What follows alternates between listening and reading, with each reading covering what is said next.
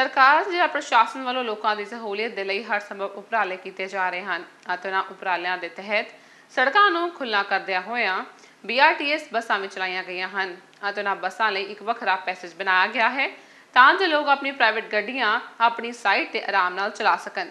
ਪਰ ਵੇਖਣ ਵਿੱਚ ਆ ਰਿਹਾ ਹੈ ਕਿ ਲੋਕ ਇਸ ਸੰਬੰਧੀ ਬਿਲਕੁਲ ਜਾਗਰੂਕ ਨਹੀਂ ਹਨ ਅਤੇ ਆਪਣੀਆਂ ਪ੍ਰਾਈਵੇਟ ਗੱਡੀਆਂ BRTS ਬੱਸਾਂ ਦੇ ਪੈਸੇਜ ਵਿੱਚੋਂ ਕੱਢਦੇ ਹਨ। ਜਿਸ ਦੀ ਮਿਸਾਲ ਆਮ ਤੌਰ ਤੇ ਵੇਖਣ ਨੂੰ ਮਿਲਦੀ ਹੈ।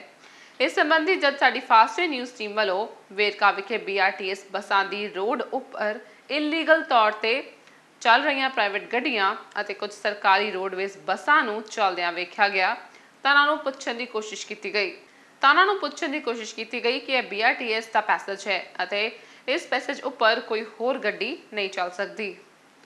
ਤਾਂ ਇਸ ਮੌਕੇ ਪੰਜਾਬ ਰੋਡਵੇਜ਼ ਬੱਸ ਡਰਾਈਵਰ ਨੇ ਫਾਸਟਵੇ ਦੇ ਕੈਮਰਾਮੈਨ ਦਾ ਮਾਈਕ ਖੋਣ ਦੀ ਕੋਸ਼ਿਸ਼ ਕੀਤੀ ਅਤੇ ਬੱਸ ਦੇ ਪਿਛਲੇ ਟਾਇਰ ਨੂੰ ਉੱਪਰ ਚੜਾਉਣ ਦੀ ਕੋਸ਼ਿਸ਼ ਕੀਤੀ। ਤਾਂ ਉਸ ਮੌਕੇ ਬੱਸ ਡਰਾਈਵਰ ਰੋਡਵੇਜ਼ ਦੀ ਬੱਸ ਲੈ ਕੇ ਉੱਥੋਂ ਫਰਾਰ ਹੋ ਗਿਆ।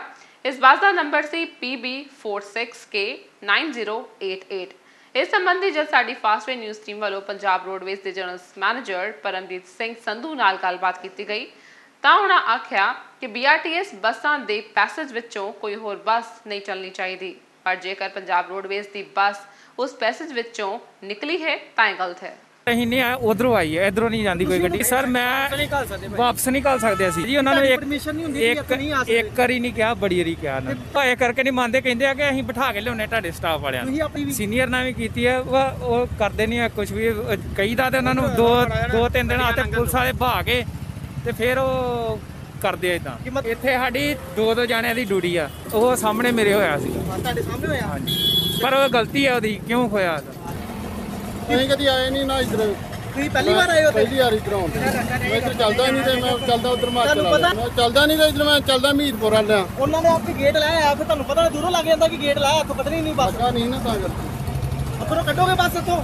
ਤੁਸੀਂ ਯਾਰ। ਸਰ ਜਦੋਂ ਅਹ ਇੱਥੇ ਅੱਗੋਂ ਕਿਸੇ ਨੇ ਰੋਕਿਆ ਨਹੀਂ ਅਸੀਂ ਆ ਗਏ ਸਰ ਉੱਥੇ ਕੋਈ ਨਹੀਂ ਲੜਕਾ ਖਲੋਤਾ ਕੋਈ ਵੀ ਨਹੀਂ ਨਹੀਂ ਸੀ ਚੈਕਿੰਗ ਵਾਲਾ ਹਾਂਜੀ। ਚਲੋ ਤੁਹਾਨੂੰ ਅਸੀਂ ਆਪਣੇ ਨੂੰ ਦੱਸ ਦਿੰਦੇ ਕਿ ਹੁਣ ਇਹ ਰਸਤਾ ਨਹੀਂ ਯੂਜ਼ ਕਰਾਂਗੇ। ਠੀਕ ਹੈ ਸਰ ਪਲੀਜ਼ ਇੱਥੇ ਯੂਜ਼ ਨਾ ਕਰਨਾ। ਠੀਕ ਹੈ ਸਰ ਕਾਰ ਵੀ ਨਹੀਂ ਆ ਸਕਦੀ ਤੇ ਬੱਸ ਦੂਜੀ ਰੋਡਵੇਜ ਵੀ ਨਹੀਂ ਚੱਲ ਸਕਦੀ। ਤੇ ਤੁਸੀਂ ਕਿਉਂ ਲੈ ਕੇ ਆਏ ਹੋ?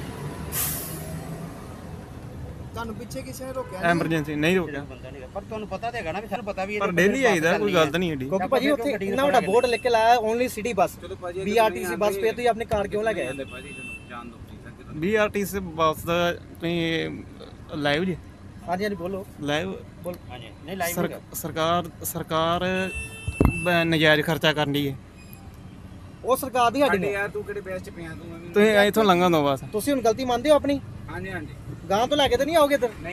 ਬੱਸ ਚੱਲ ਤਾਂ ਨਹੀਂ ਸਕਦੀ, ਜੇਕਰ ਟ੍ਰੈਫਿਕ ਦੀ ਕੋਈ ਪ੍ਰੋਬਲਮ ਆ ਜੇ ਤੇ ਫੇਰ ਹੋ ਸਕਦਾ ਕੋਈ ਬੱਸ ਆ ਗਈ ਹੋਵੇ ਜਾਂ ਆ ਸਕਦਾ। ਨਹੀਂ, ਸਾਰੀਆਂ ਨਹੀਂ, ਜੇ ਕੋਈ ਆਉਂਦੀ ਹੋਊਗੀ ਤਾਂ ਅਸੀਂ ਉਹਦੇ ਬਾਰੇ ਹਦਾਇਤਾਂ ਜਾਰੀ ਕਰ ਦਿਆਂਗੇ। ਵੀ ਉਹ ਆਪਣੇ ਰਸਤੇ ਥਾਂ, ਆਮ ਪਬਲਿਕ ਦੇ ਰਸਤੇ ਵਾਸਤੇ ਜਿਹੜੀਆਂ ਬੱਸਾਂ ਦੀ ਆਵਾਜਾਈ ਵਾਸਤੇ ਰਸਤਾ ਬਣਿਆ, ਉਧਰ ਦੀ ਆਉਣ, ਆਉਂਦੀ ਹੀ ਜਾਣੀਆਂ ਚਾਹੀਦੀ ਤੁਸੀਂ ਇਸ ਦੇ ਬਾਰੇ ਸਾਨੂੰ ਲਿਖਤੀ ਤੌਰ ਤੇ ਦੇ ਦਿਓ, ਉਹਦੇ ਵਿਰੁੱਧ ਜਿਹੜੀ ਵੀ ਕਾਰਵਾਈ ਬਣਦੀ ਆ, ਉਹਨੇ ਕਿਉਂ ਤੁਹਾਡੇ ਨਾਲ ਮਿਸਬਿਹੇਵ ਕੀਤਾ ਦੀ ਜਾਂਚ ਪੜਤਾਲ ਕਰਾ ਲਾਂਗੇ ਆਪਾਂ।